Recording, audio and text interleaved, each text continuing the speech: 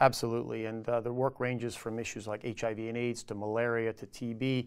We also are now focusing on many of the chronic issues around women's health. We know that um, healthy grandmoms, we say, are a sign of a healthy society. So um, when you know that grandmoms are, have their function in society, we all know that we've grown up with grandmoms who've helped to shape us in ways in our lives they're a beautiful result of, um, of a society that is well. And so what we try to do is we try to work in that space of women's health as well as children's health because we believe those are two areas that anytime you have a society where children are well and the women are treated fairly and equitably, you usually have a very, very functioning society and one that has very good health indicators.